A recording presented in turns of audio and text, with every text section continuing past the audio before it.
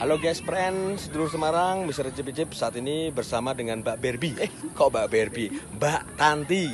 Ini di spot apa ini?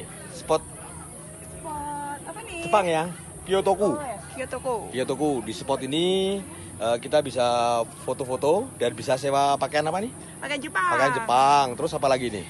Ada apa sih ya pohon-pohon bambu. Ah, pohon-pohon bambu. Jadi menarik ya. Memang khasnya ini ya.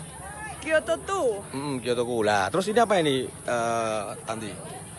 Oh, ini adalah apa ya?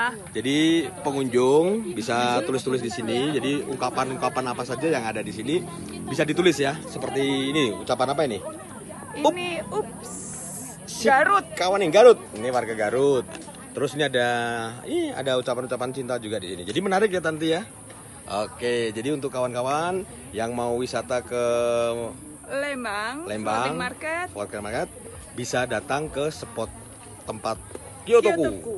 Jepang. Harukoto, masih mas. Bahasa apa itu? Dinikmati, Di- disyukuri, enak Enak tenang.